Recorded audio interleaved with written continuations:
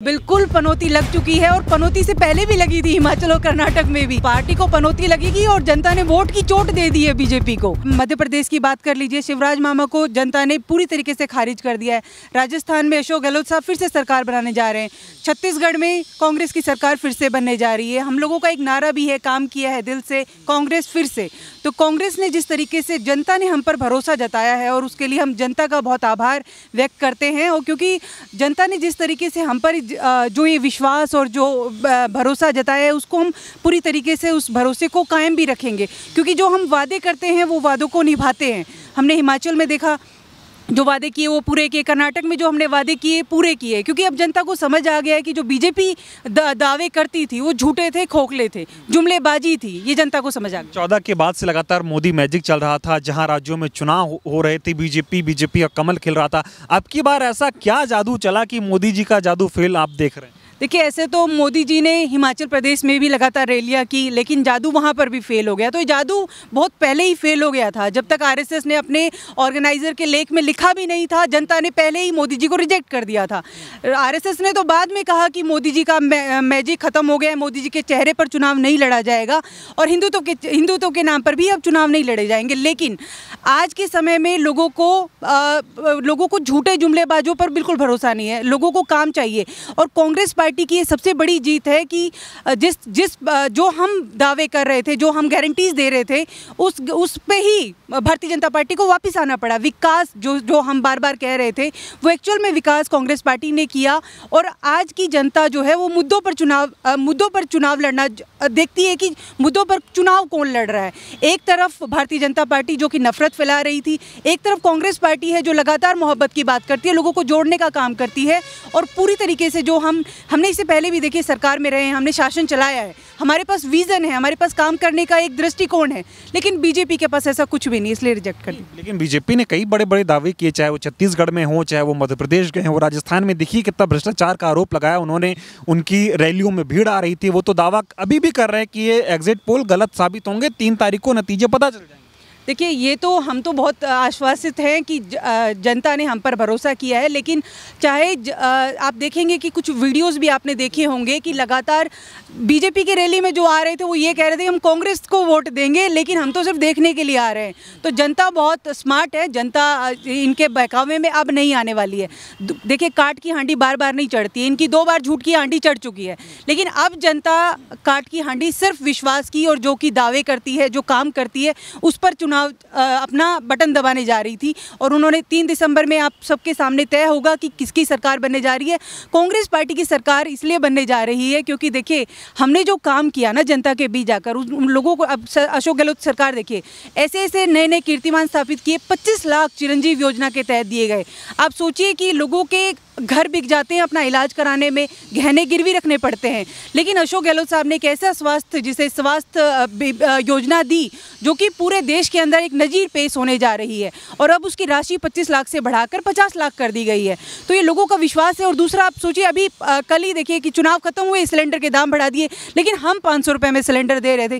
तो जनता को वो सरकार चाहिए जो कि समाज कल्याणकारी नीतियों पर काम करती है। वो सिर्फ़ ये नहीं कि पंद्रह लाख आएँगे, दो करोड़ नौकरियाँ दी जाएँगी, लेकिन दिया कुछ भी नहीं। आज जनता तो खो ऐसे बीजेपी को तो ये जानती है कि तो खोखले नारों के लिए प्रसिद्ध है।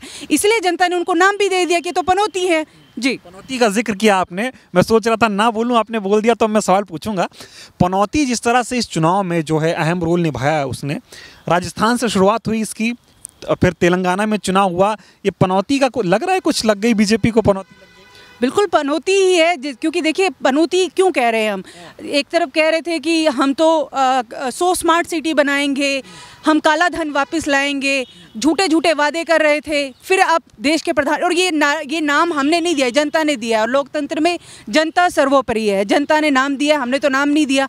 लेकिन जिस तरीके से देश के प्रधानमंत्री को जिस भाषा में इस्तेमाल करते आए हैं मूर्खों के सरदार ऐसे ऐसे शब्द जो कि हम आ, हम आ, सोचते हैं कि प्रदेश के पूरे देश के मुखिया हैं उनको ऐसी भाषा का इस्तेमाल नहीं करना चाहिए। लेकिन आ, मुझे लगता है कि जनता ने अब उनको पनौती नाम दिया है और पनौती वो साबित भी हो गया है। लेकिन जिस तरीके जेपी को लग गई पाँच राज्यों में पनौती नहीं लगी बिल्कुल पनौती लग चुकी है और पनौती से पहले भी लगी थी हिमाचल और कर्नाटक में भी। लेकिन जिस तरीके से अब तो पूरी तरीके से अब तो कॉन्फिडेंस जिस तरीके से बीजेपी का घट गया है और जिस तरीके से प्रवक्ता पहले आप देखेंगे कि किस तरीके से चीखे मार मार कर बोलते थे अब वो बिल्कुल शांत हो गए। देख रहा था डिबेट में कोई ऑफिशियली प्रवक्ता भी नहीं बैठ रहे थे। हाँ ये उनकी हार का बहुत बड़ा कारण रहा है कि वो हार ने, ये सबसे बिना एग्जिट पोल ही पता चल गया है कि भाई ये हार रहे हैं क्योंकि अपने प्रवक्ता नहीं भेज रहे हैं। अदरवाइज़ तो इससे पहले तो वो चीखे मार मार कर बोल रहे थे, शिवराज मामा ने काम किया है, शिवराज मामा ने काम किया, जबकि मोदी जी ने तो उनके काम को नकार दिया है। मोदी जी ने भविष्यवाणी करके आए वो राजस्थान में कि मैं भविष्यवाणी कह रहा हूँ, अशोक गहलोत अब मुख्यमंत्री नहीं बनेंगे। नहीं, देखिए आप तो मुझे लगता है कि देश की जनता, जो 140 करोड़ की जनता है, वो मोदी जी के किसी भी बयान पर भरोसा नहीं करती है। उनको लगता है कि जो भी वो वो जब बोलने आते हैं ना तो लोग टीवी बंद करके चले जाते हैं कि पता नहीं क्या बोल देंगे ये। और उनकी बातों पर कोई विश्वास नहीं करता, वो हमेशा मन की बात करते हैं। उन्होंने कभी भी जन की बात नहीं की। अगर जन की बात की होती तो मुझे लगता है कि जनता उन पर भरोसा करती है इतनी रैलियाँ की, उन्होंने राजस्थान में इतनी रैली की, मध्य प्रदेश में गए, छत्तीसगढ़ में गए, तेलंगाना में गए वहाँ पे तो कह दिया, हम ओबीसी मुख्यमंत्री बना देंगे। इतने बड़े बड़े दावे मोदी जी मेहनत करने वाले, इन्होंने तो कहा, जो देश में किया है, वो इन पाँच राज्यों में करेंगे। मौका दीजिए हमें, डबल इंजन की सरकार बनाइए, डबल विकास कराइए। देखिए, मोदी जी जिस तरीके से चुनाव प्रचार करते हैं ना, कि हर एक क्षेत्र हर एक, चाहे काउंसलर के चुनाव में भी कहते हैं कि मोदी जी का चेहरा, मुझे ये लगता है कि मोदी जी कहीं खुद मुख्यमंत्री तो नहीं बनना चाहते हैं फिर से, क्योंकि वो इससे पहले मुख्यमंत्री रहे हैं। हमें लगता है कि वो जिस तरीके से वो 140 करोड़ बीजेपी के मुख्य, प्रधानमंत्री नहीं है। वो पूरी जनता के प्रधानमंत्री हो। बीजेपी के नहीं है कि आप 24 घंटे आप रैलियों में ही व्यस्त रहेंगे। चुनावी मोड में रहना अच्छी बात है, लेकिन इस तरीके से नहीं। आपको जाकर काम भी करना होगा। जिस जनता ने आपको बैठाया है, केंद्र में बैठाया है, आप काम कब कर रहे हैं? आप तो काम नहीं कर रहे, आप तो लगातार चुनाव प्रचार कर रहे हैं। और चुनाव प्रचार में भी क्या बोल रहे हैं? आप कांग्रेस को गिरिया रहे हैं बार बार कांग्रेस की आलोचना कर रहे हैं। देखिए, चुनाव जो है, किसी की आलोचना करके नहीं होता। चुनाव जीतती है, चुनाव में जनता उसको वोट देती है जिसने काम करके दिखाया हो। इससे पहले भी ये बार बार पूछते हैं, सत्तर साल में क्या किया, सत्तर साल में क्या काम किया, इनको बता दें। सुई से लेकर और हवाई जहाज़ तक, एयरपोर्ट तक हमने बनाए और इनको ये बेचने का ये है कि अभी केंद्र में सरकार तो है ना मोदी जी की, लोग कहते हैं मोदी मैजिक चलता है। क्या ऐसी वजह हुई कि जो रिज़ल्ट आ रहा है, एग्जिट पोल आ रहा है, एकदम पासा पलट गया, बीजेपी का सुपड़ा साफ़ दिख रहा है, हालत पतली दिखाई दे रही है? देखिए, मुझे लगता है कि एग्जिट पोल के माध्यम से तो जनता के बीच ये तो है कि हाँ भाई बीजेपी हार रही है। लेकिन हम लोगों को तो बहुत पहले से ही ये पता था, क्योंकि जब ये, जब जिस टाइम चुनाव की तारीखें ऐलान हुई, उसी दिन उद्घोष हो गया था बीजेपी हारने जा रही है। और हमारे नेता जो कि खड़के साहब ने बहुत पहले ये ट्वीट भी कर दिया था कि चुनावी उद्घोष के समय ही कि चुन बीजेपी चुनाव हार रही है। क्योंकि देखिए, जनता जनता अब ऐसी सरकार नहीं चाहती है जो लगातार झूठे वादे करे, झूठे नारे दे, लेकिन काम कुछ नहीं करे। अब देखिए, अठारह साल से शिवराज मामा की सरकार रही, लेकिन वहाँ पर नौकरियाँ कितनी दी? एक भी नौकरियाँ नहीं दी। छः साल में एम में एक भी भर्ती नहीं की। अब आप सोचिए कि जहाँ एक तरफ़ राजस्थान की सरकार आप तुलना कर लीजिए। दो लाख करीब, दो लाख तेरह हज़ार के करीब हमने सरकारी नौकरी देने का काम किया। एक तरफ़ बीजे, बीजेपी की सरकार है, जहाँ कोई काम नहीं होता। हरियाणा है वहीं बगल में ही। वहाँ दो करोड़, दो लाख पद जो है खाली है। आप सोचिए कि जिस जिस जिस प्रदेश में बीजेपी की सरकार है, वहाँ पर कोई काम नहीं होता है। वहाँ कोई काम नहीं होता, लेकिन जहाँ कांग्रेस की सरकार है, वहाँ लगातार जनता खेल समझ गई। जनता बिल्कुल खेल समझ गई है कि अब बीजेपी का खेला होने जा रहा है इन पाँचों राज्यों के चुनाव के माध्यम सेमीफाइनल जीत रहे हैं। हम बिल्कुल हम जीत चुके हैं। हमने तो ये जनता ने हम पर इतना भरोसा किया इसलिए हम इतने आत्मविश्वास के साथ कह रहे हैं कि हम चुनाव जीतने जा रहे हैं। 2024 में भी हम ही जीतने जा रहे हैं। इसका जो प्रभाव है चौबीस में पड़ेगा? लग रहा है कितनी मजबूती से पड़ेगा? देखिए जनता बहुत समझदार है और जनता ने हम पर जो भरोसा किया उसी से आत्मविश्वास के साथ हम और भी कड़ी मेहनत करने जा रहे हैं और कड़ी मेहनत के साथ हम जनता के बीच अब जाने जा रहे हैं। विश्वास है कि तीन तारीख को नतीजे ऐसे होंगे कि बीजेपी की हालत खराब हो जाएगी। बिल्कुल नतीजे हमारे पक्ष में आएँगे और बीजेपी को उनको जिसे आईना दिखाने का काम अब जनता करने जा रही है तीन दिसंबर के रिज़ल्ट के माध्यम से।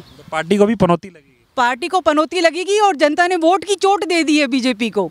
अब जनता ने वोट की चोट दी है कि, कि क्योंकि लगातार अब इनको समझ में आया है कि सिर्फ़ चुनाव जो है वो हिंदू मुस्लिम करके या नफरत का एजेंडा चला के नहीं होगा। इस देश में मोहब्बत का एजेंडा चलेगा। इस देश में उन सिर्फ़ मुद्दों की बात होगी। वहाँ पर इस तरीके से नहीं। नई मोहब्बत की दुकानें खुलेंगी। बिल्कुल खुले। मोहब्बत की दुकान खुलने जा रही है खुल भी चुकी है पूरे देश में खुलने जा रही है अब।